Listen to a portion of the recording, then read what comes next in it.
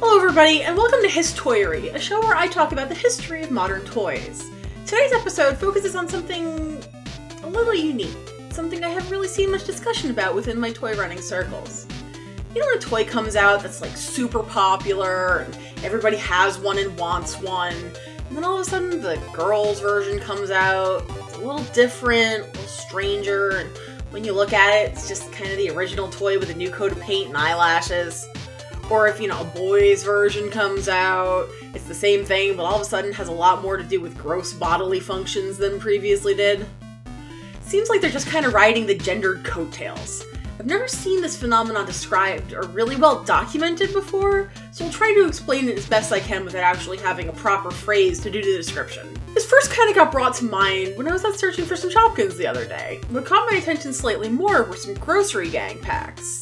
Upon closer inspection, I discovered they were both manufactured by the same company, Moose. A little bit of research showed that the Shopkins were released well before the Grossery Gang. Shopkins were on wave 3 or 4 when Grossery Gang was even released. I have a few of those that I'll be unboxing a little bit later on, but for now, let's get through the heavy stuff. Some of the first examples I can find aren't direct counterparts.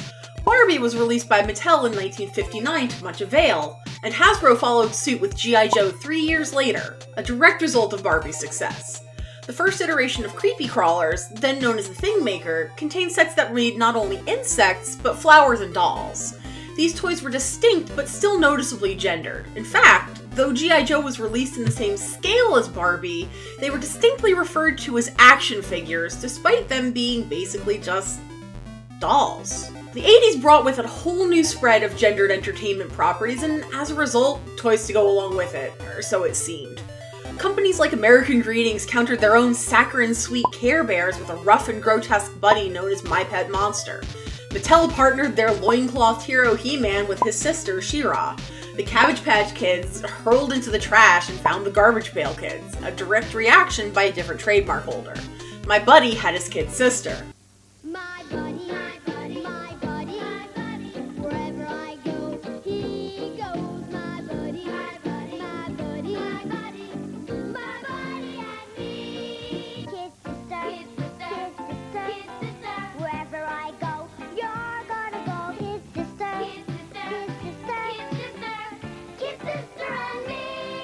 Buddy and Kid Sister. Each sold separately from Playskool. This was only the beginning. The Toy Shill TV series trend continued well into the 90s, though most weren't explicitly gendered. In fact, the fad toys of the era, you know, think Pogs, Tickle Me Elmo, and Pokemon, stuff like that, tended to be properties that had a gender neutral appeal. You didn't need to be a boy to like Pokemon, and you didn't need to be a girl to play Pogs. However, through properties like Bluebird and Mattel's Polly Pocket and Mighty Max, and Kenner Hasbro's Easy Bake Oven and Queasy Bake Cookerator, the trend persisted. Mighty Max, Mighty Max. It's Mighty Max. Welcome to Skull Dungeon. Wow! Hi, I'm Polly Pocket. Let's have fun in my playhouse Additionally, the aforementioned Thing Maker came back with a vengeance called now by its new name, the Magic Maker, under the header of Creepy Crawlers. Check out the difference between this vintage 60s commercial Creepy crawlers, creepy crawlers, creepy crawlers. Now, you can make all kinds of lovely things like these with Mattel's wonderful Thing Maker. It makes creepy crawlers, spiders, lizards, snakes, dragonflies. Make them yourself with this nice plastic goop. and the new rad 90s version. It's the Creepy Crawlers Oven! The Creepy Crawler Super Oven Wow! Make a mold! A super oven and a timer! makes bigger, better butts. Where'd the girl go? Why, to treasures and trinkets, of course, because there's no way girls could like bugs. For reverse of this, remember trolls? Of course, they were ubiquitous in the 90s and have recently made a resurgence with the new movie. You know, Justin Timberlake's involved, come on. Everyone loved them, everyone had them, but somewhere along the line it was decided that, nah, trolls are for girls, we've gotta make a boy version. And lo, the Battle Trolls were released. Just when all the cute little trolls thought it was safe to come out and play.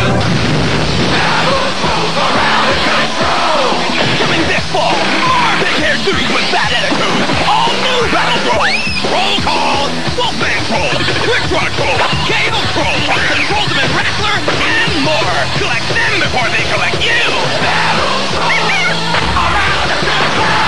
New battle coming this fall. Exclusively. Stone Protectors were too, but they weren't as explicitly not for girls as that Battle Trolls commercial was. These two were partnered with Saturday morning cartoons.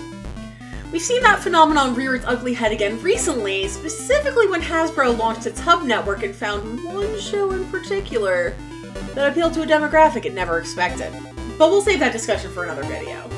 What I do want to discuss in its stead is probably the most egregious of these sins, taking an existing property that was fairly gender neutral and pinkwashing it. The two biggest examples I can think of are probably with Nerf and LEGO. Nerf has been around in various iterations since the late 1960s, but in the early 90s toughened up its logo to appear more manly. Its Rebelle offshoot wasn't introduced until 2013, and while the line routinely includes new and innovative weapons, including its first real bow and arrow in decades, it garnered a lot of well-deserved criticism for its color scheme and marketing.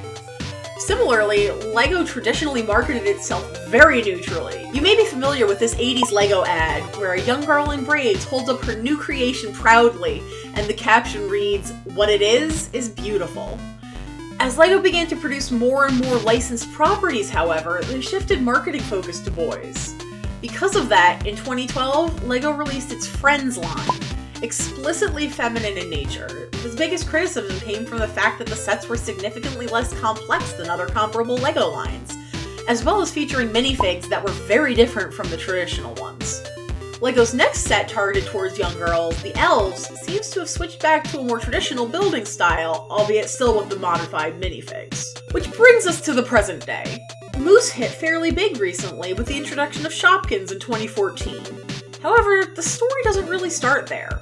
It starts surprisingly in 2011 when Moose introduced the Trash Pack. Trash Pack figurines were similar to Shopkins, but, well, gross. Though Trash Pack did fairly well in its native Australia and the UK, it didn't seem to crack the US market as well as Moose would have liked. The Trash Pack was retired after seven series in 2014, shortly after the debut of Moose's newest creation, Shopkins. Shopkins, Shopkins. Welcome to the Shopville grocery store. Home of super cute Shopkins galore. Frozen bakery, fruit, and veg. There are aisles of Shopkins to collect. Shopkins, as you may know, took over the world, or at least the US market. Though their pink packaging and plungers with eyelashes may have attempted to sell otherwise, Shopkins seemed to have a pretty universal appeal, and kids of all genders collected them pretty equally. Using household items intended for all members of the family kind of helped its appeal. Moose, however, wanted to push Shopkins in a pretty female direction, especially with the introduction of their Shopkins dolls, Shoppies, in 2015. To make up for their lack of a male targeted product, Moose rebooted the Trash Pack as the Grossery Gang in 2016. It's the Grossery Gang. Shopping, it's gone right. The gross gang that live in a store. Packets are where they hide. Open up, what will you find? Similar to Shopkins in the fact that they're mostly grocery based items, but they're, you know, gross. In part two of this episode, I'll be unboxing some Shopkins and Grossery Gang packs. Until then, wonder with me why so many toys rely so heavily on gendering when it's entirely unnecessary. Thanks for watching.